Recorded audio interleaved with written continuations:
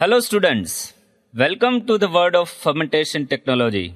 This lecture is a part of NME-ICT project, an initiative of Ministry of HRD, Government of India. Today, we will focus our discussion on screening program and its importance in fermentation process. Let me start with what is the meaning of screening. Screening is the use of highly selective procedures to allow the detection and isolation of only those microorganisms which are of interest from among a large microbial population. Screening allow the discarding of many valueless microorganisms and at the same time it allow easy detection and the useful microorganisms that are present in the population in very less number. Now, what is primary screening? Primary screening allow the detection and isolation of microorganisms that have potentially interesting industrial applications. Primary screening separate out only a few microorganisms having real commercial value. Primary screening determines which organisms are able to produce a compound without providing much ideas of the potential of the organisms to produce a particular product. Now let me explain some example of primary screening. First, primary screening of organic acid producing microorganisms. Incorporation of a pH indicating dye such as neutral red or bromothymol blue into a poorly buffered agar medium is the base to detect organic acid producing microbial populations.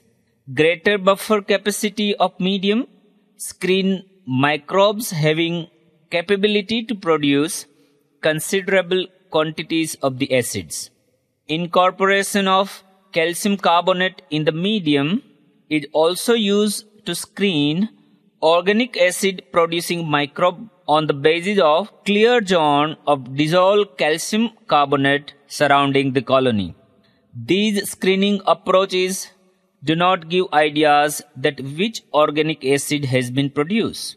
Thus, the colonies of microorganisms showing the potential to produce any fermentation product should immediately be purified and subculture into an appropriate medium to maintain as a stock culture for further screening. Now, primary screening of antibiotic producing microorganisms. The simplest screening technique for antibiotic producing microorganisms is crowded plate technique. The technique is used to find out the microorganisms that produce an antibiotic without giving much information of sensitivity towards other microorganisms. Procedure include dilution and spreading or pouring of soil samples that give well isolated colony. Colonies producing antibiotics are indicated by an area of zone of inhibition around the colony. Such colony is subcultured using a similar medium and purified by streaking before making stock cultures. The purified culture is then tested to find what type of microorganisms are sensitive in the presence of these antibiotics. That is, microbial inhibition spectrum is carried out. The crowded plate tech procedure also does not give exact ideas about antibiotic producing microorganisms because the inhibition area surrounding the colony sometimes can be due to other reasons like visible change in the pH of the medium which results due to production of some other metabolite and due to rapid utilization of some critical nutrient in the vicinity of the colony. Thus, further testing is required to confirm the inhibitory activity associated with the microorganisms. Screening of antibiotic producing microorganisms can be improved by using a test organisms and by Wilkinson methods. Likewise, we can carry out the primary screening of organisms that produce extracellular product like vitamins, amino acids and other growth factors.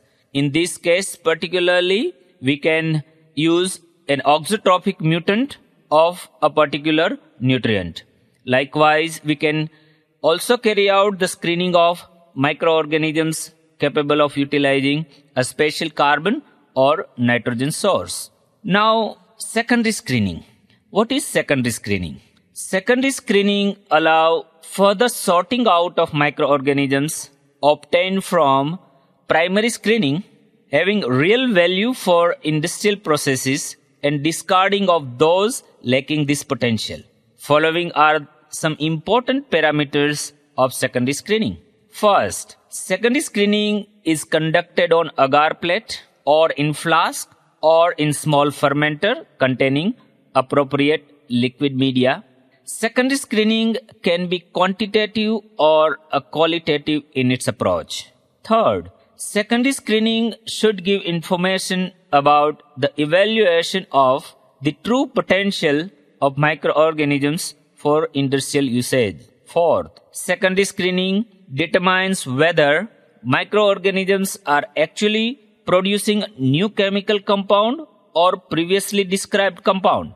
Fifth, secondary screening should reveal the optimization of parameters like pH, aeration, or other critical requirement associated with particular microorganisms for the growth of organisms and for formation of the product.